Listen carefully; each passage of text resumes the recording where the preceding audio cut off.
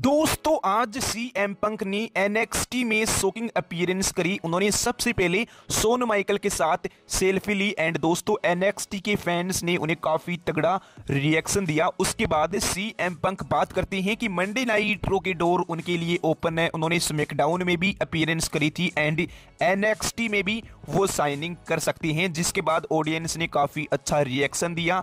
And दोस्तों Shawn Michael and C M Punk गले लगते हैं एंड इस तरह इस सेगमेंट का एंड होता है। तो देखो सी एम पंक ने रो में स्मैकडाउन में एंड अब एनएक्सटी में अपीयरेंस करी है। एंड नेक्स्ट वीक रो के अंदर सी एम पंक आने वाले हैं। तो देखना होगा वहाँ पर वो क्या करते हैं। बाकी दोस्तों, ये वीडियो अच्छी लगी हो तो लाइक एंड चैनल को सब्सक्राइब ज़रूर करना।